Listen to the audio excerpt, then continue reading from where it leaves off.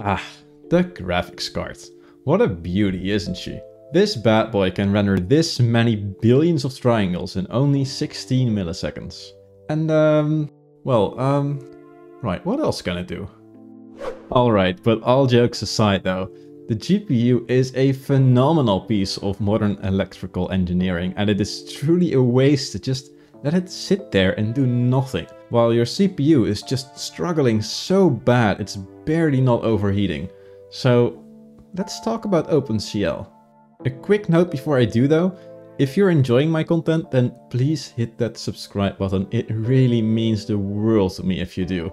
And I guess you can always change your mind later. So anyway, OpenCL is a framework for writing programs that can run on, quote unquote, hardware accelerators. This usually just means graphics cards, so that is what we will focus on in this video. OpenCL specifies a C-like programming language that allows you to program your GPU and it allows you to interface between this GPU program and your regular CPU code. So to begin with, you'll have to get OpenCL on your computer and link it up with your C, C++ project. This is pretty straightforward, so I won't spend too much time on this. If you're stuck, there is a link in the description to a blog post that has a pretty good job explaining everything. Also a quick note for if you prefer C Sharp, OpenTK has the OpenTK computing.opencl namespace. This contains everything that you need to get started with OpenCL in C Sharp. And just like with OpenGL, all the functions in OpenTK will look and behave almost identically to those in C and C++. So you should be able to follow this video as well. Alright, now let's get to the juicy stuff here. First, we can get a list of OpenCL platforms using the function cl get platform IDs. I won't go into too much detail because the API is pretty self-explanatory, but just for this first function, I'll say that OpenCL is a C-based API and so all of these functions use pointers and basic value types. So the platform ID list that we need here is just a platform ID pointer combined with an unsigned integer to specify the size. Also, most of these functions will return a CL result. This simply tells you if the function executed with CL success, or if anything bad happened. It's useful to check these just to make sure that everything is okay. Next up, we can get the physical device associated with each platform by calling cl get device IDs. Here you can specify what type of device you want to use, so you'll probably want to use cl device type GPU but there are some other types that might have some niche uses. You can check out of this in the OpenCL specs of course. Another useful thing to do here is to rate each device and finally use the device with the highest rating. A user PC might, for example, have one integrated GPU and one dedicated GPU. If you just use the first device that you find, you might end up using the integrated GPU for running your code on, while you probably wanted the dedicated one. You can use CL get device info to query basically anything you would ever want to know about the device. So hopefully you can make some informed decisions about which device you actually want to use. Then we can create the OpenCL context using three guesses. Well, yes, CL create context, of course. This of course takes in the device we just chose. In principle, you could use multiple devices for your context, but this is usually not what you want. The OpenCL context will basically manage all of your other OpenCL objects from now on. Now, the last part of the initialization procedure is to create the command queue, with of course cl create command queue, or cl create command queue with properties. Here you really can only use one device per command queue, or rather one command queue per device. The command queue also just kind of does what it says. It's a queue where you can unqueue commands for your device. Something like run this program, for example, or upload this buffer. Anyway, we now have everything that we need to actually load our program. So let us do that by calling cl create program with source, and then cl build program. If you want to, you can check the build status by calling cl get program build info. If the build failed, because maybe you made some syntax error in your code, for example, then this will tell you exactly what you did wrong. Not strictly necessary, but incredibly useful. With our program, we can now create the kernel, which is the entry function within your program that we're going to have to call from the CPU side. We can do this by calling cl create kernel. Make sure that the kernel name parameter matches exactly with the name of your entry function. Now to actually run our program or kernel, we should first upload the parameters for the kernel to the device. We can do that by calling cl set kernel arg. This uses an index to set every parameter or argument of your kernel. Set index 0 is simply the first argument, index 1 is the second, and so on. You probably want to use OpenCL buffers here, because those can be stored on the GPU for longer periods of time, so you don't have to re-upload the same parameters over and over every frame. You can create a buffer with cl create buffer. You can then set the buffer data by calling cl unq write buffer. We will be using two read-only buffers for input and one write-only buffer for output. Of course, we don't have to set any data for the write buffer. And the read buffers can just be populated by any old C style or C++ style array. Once all the arguments are set, we can unqueue the kernel to the command queue. We do this by calling cl unqueue nd range kernel. This one might be a little bit more confusing than the other functions though. CLUNQ range kernel needs you to specify a work dimension, a global work offset, a global work size and a local work size. The work dimension simply specifies how many spatial dimensions you want to use. This can be useful for if you want to do something for every pixel on a screen for example, because a screen has two dimensions, so work dimension is 2 then. If you are just working with arrays, then work dimension is just 1. The global work offset is the easiest of the bunch, because this just always must be zero. But OpenCL might use this parameter in the future. Now, global work size is the number of runs you want to do per dimension. So let's take our once per pixel on our screen example. If we have a screen of 1920 by 1080, then the global work size of the first dimension will be 1920 and the global work size of the second will be 1080. And local work size is the number of threads you want to run per GPU group per dimension. A work group on my GPU is basically a small number of cores that share memory. The total number of cores in such a group can be different per GPU, so you should check what that is for your device by calling cl get device info. Then make sure that the total of local work size, so local work size 0 times local work size 1 times local work size 2 and so on, is never greater than this total number of cores per workgroup. Otherwise your program cannot run. You might be wondering, well, why would I ever want to use fewer cores per workgroup than the maximum? Well, remember that a workgroup shares memory. So if you're using a lot of memory per core, this shared memory can completely get filled up and that can cause a lot of issues. Your program might actually get a lot slower than if you had used fewer cores, or your program might just not run at all.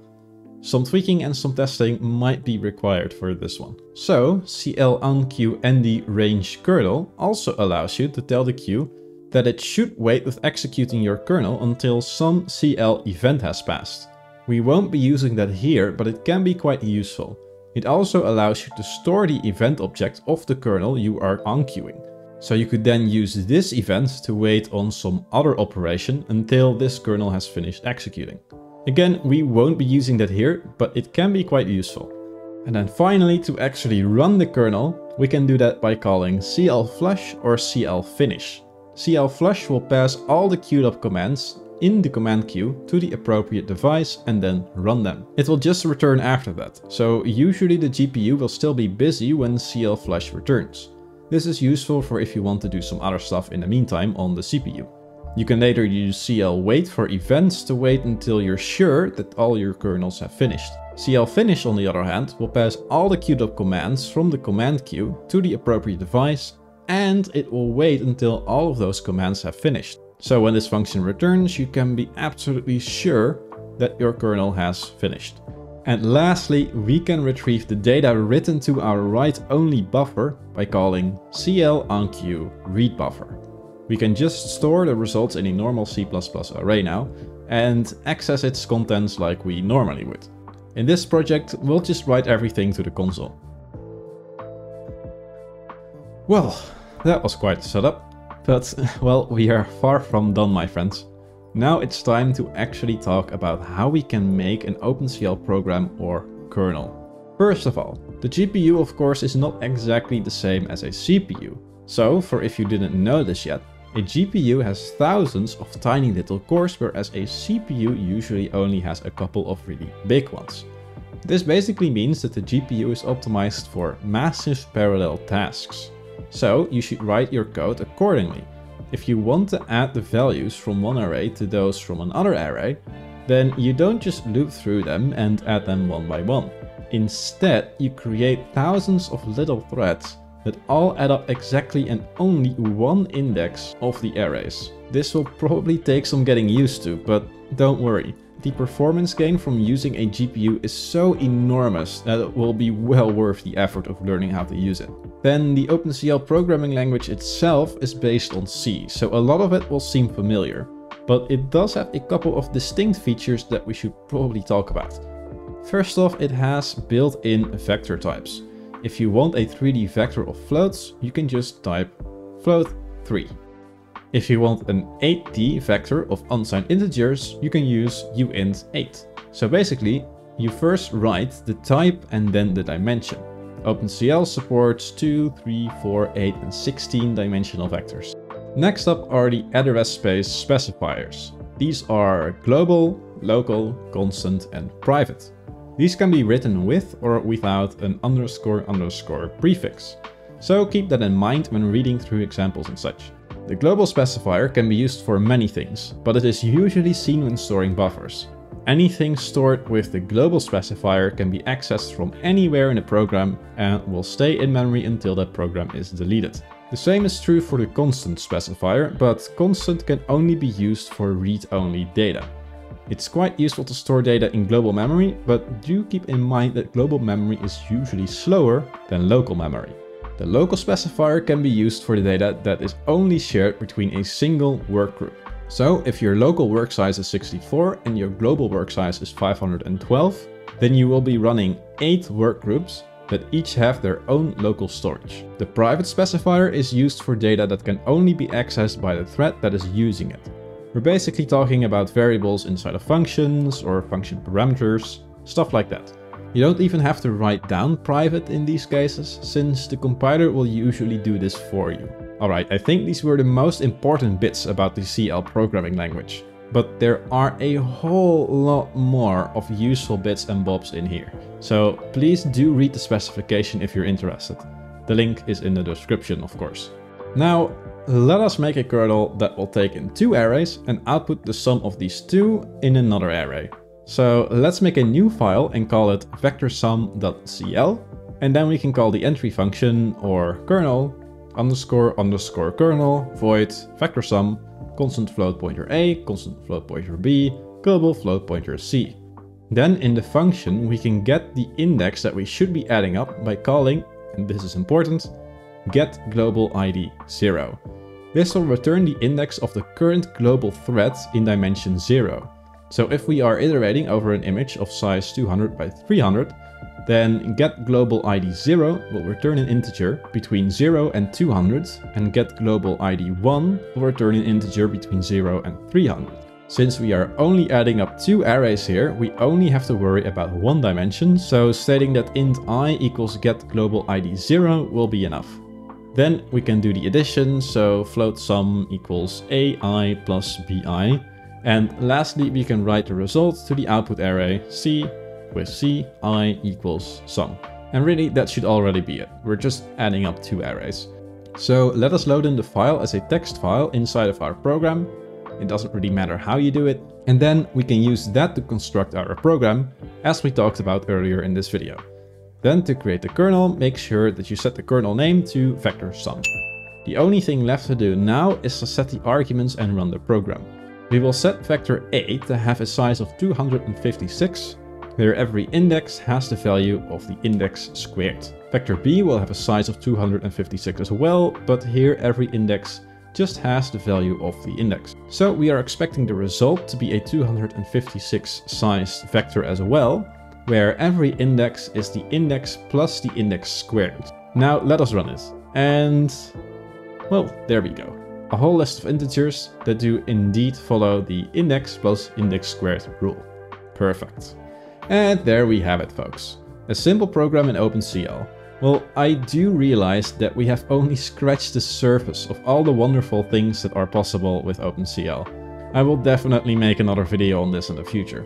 Maybe I could also make a video that goes more in depth on what a GPU really is, how it works, and how you can write code to fully take advantage of it. That would be interesting. This video has been long enough though, so I'm gonna end it here. If you're new to the channel and you enjoyed the video, then please consider subscribing, that would really mean the world to me.